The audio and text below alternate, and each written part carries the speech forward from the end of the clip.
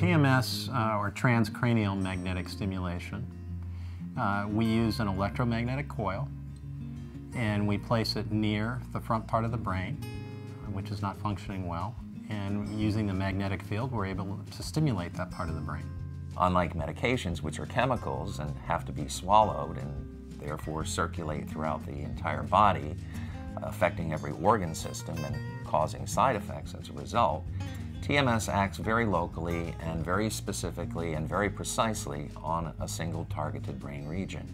What's excited me about TMS has been, uh, again, the, the ability to uh, treat a, a pretty significant condition, depression, without adding medication after medication.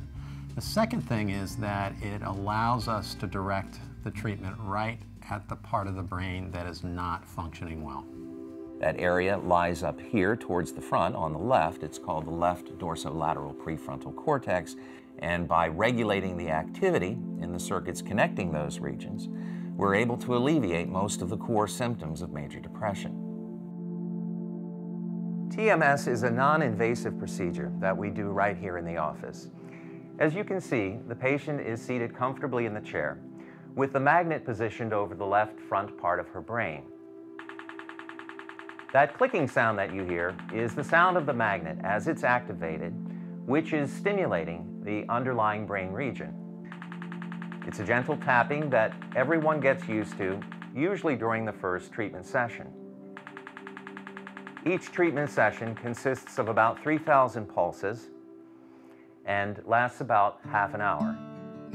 They take a lot of care in setting you up for you know, your head size, where everything is. I was amazed at how much care they took that first time. I honest to God thought it was a bunch of quackery. But I'm here to say it works. And that's all I can say is it works.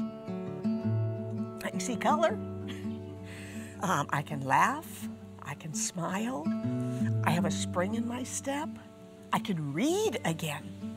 I'm reading David Copperfield, believe it or not.